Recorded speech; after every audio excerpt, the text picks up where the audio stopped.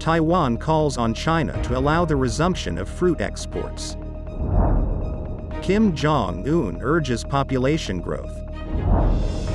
Lebanon discovers oldest mosquito in amber, dating to early Cretaceous. COP28 pledge to curb cooling emissions backed by 63 countries. Zelensky cancels U.S. Senate briefing last minute. The largest iceberg in the world finally escapes Antarctica.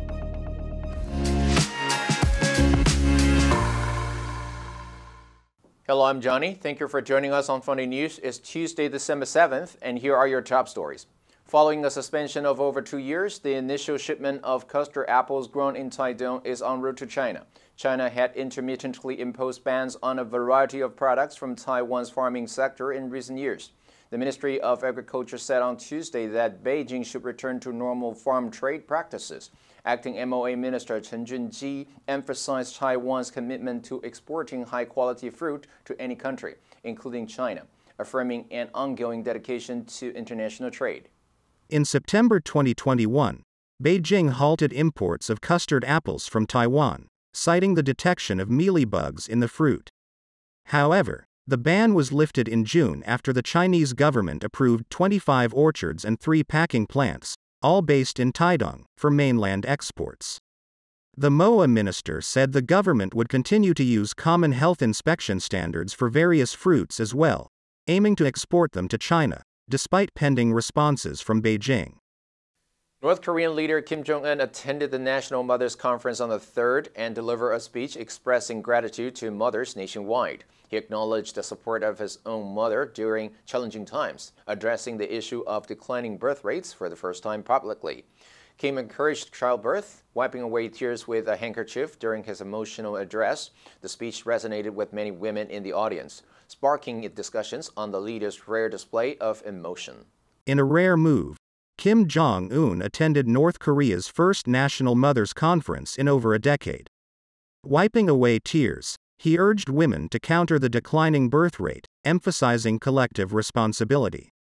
Kim proposed raising children to improve the nation's future and stressed unwavering commitment to socialist values. South Korean officials noted North Korea's concern over the declining fertility rate, 1.79, below the 2.1 needed for stability. Observers suggest Kim's occasional appearances with his daughter aim to encourage more families. Paleontologists have recently uncovered a prehistoric mosquito in Lebanese amber dating back 125 million years. This discovery represents the earliest known mosquito amber fossil and introduces a previously undocumented species. The male mosquito features piercing mouthparts, suggesting a potential blood-feeding lifestyle. This finding provides valuable insights into the diversity of ancient insect life during the early Cretaceous period. In a recent publication in Current Biology, paleontologists revealed a groundbreaking discovery in Lebanese amber dating back 125 million years. Two male ancient mosquitoes were unearthed, pushing the timeline of the earliest mosquito fossils from the late Cretaceous to the early Cretaceous and introducing a previously unknown species. The researchers found that both males had piercing mouthparts, sharp mandibles, and maxillary palps, indicating a probable blood-feeding behavior. This discovery suggests that not only were the earliest female mosquitoes bloodsucking, but under certain conditions, males may have also exhibited hematophagy. Future research aims to explore the implications of blood feeding in Cretaceous male mosquitoes and understand why contemporary male mosquitoes no longer engage in this behavior.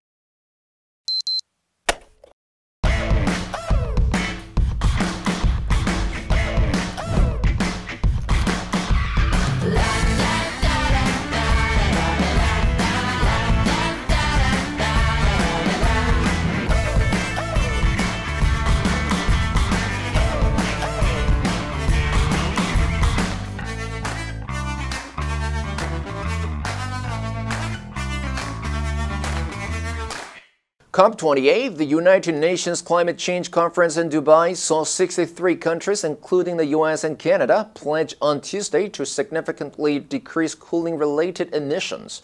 U.S. climate envoy John Kerry stated, We want to lay out a pathway to reduce cooling related emissions across all sectors, but increase access to sustainable cooling. The agreement binds countries to cut cooling related emissions by a minimum of 68% by 2050 and sets additional targets such as implementing minimum energy performance standards by 2030. Reuters reported approximately 1.2 billion individuals in need of cooling solutions currently lack access. The installed capacity is projected to triple by mid century, spurred by escalating temperatures, expanding populations, and rising incomes. Meanwhile, at least 118 countries are also supporting another COP28 pledge to triple renewable energy and double energy efficiency rates by 2030. The advancement in achieving the cooling pledge goals will be monitored annually until 2030, with regular assessments during the yearly UN climate summits. Ukrainian President Volodymyr Zelensky has canceled a highly anticipated briefing with U.S. lawmakers due to a deadlock over future U.S. funding for the country. Virtual appearances in both the Senate and House, originally scheduled for Tuesday, were abruptly called off. This decision followed a cautionary statement from a top Ukrainian official emphasizing the risk of losing the war against Russia without additional U.S. military aid. Zelensky was set to provide an update on the conflict's latest developments and advocate for support in a procedural vote expected Wednesday on an emergency aid package exceeding $60 billion for Kiev. The cash has been held up for weeks by a dispute in Congress as the White House has warned that existing funds will run out by the end of the year and that Russia's President Vladimir Putin could win the war if lawmakers fail to act. Senate leader Chuck Schumer did not explain why Mr. Zelensky was a no show. The chamber's top Democrat said the Ukrainian president was occupied with a last minute matter, without providing further detail. After nearly four decades of being immobile off Antarctica's coast, the world's largest iceberg A23A is now in motion. This massive ice island, three times the size of New York City, is expected to navigate towards the iceberg graveyard, posing a potential collision risk with a crucial penguin refuge before eventually breaking apart and melting away. Satellite imagery shared on X by the British Antarctic Survey reveals that A23A started its journey from its long-standing position in January of this year, covering hundreds of miles along Antarctica's coastline. The berg, which has a surface area of around 4,000 square kilometers, was originally birthed in 1986 when it calved from the Filchner ice shelf. But the hefty berg got stuck soon after when its submerged keel became lodged on the seafloor in the Weddell Sea. On November 25, major news outlets reported that A23A had finally started to move. However, the Berg's bid for freedom actually began in 2020 when it started to become unstuck from its seafloor tether, the BBC reported. The answer for yesterday was A. Accommodate. The roads are built to accommodate gradual temperature changes. Did you answer correctly? Now let's delve into the news of Lebanon uncovers oldest mosquito in amber, tracing back to the early Cretaceous period. Number 1. Paleontologist. After looking at much more recent animal skeletons, paleontologist Jack Bailey of Ohio University ventures a very different theory. Number 2. Piercing, 锋利的,锐利的.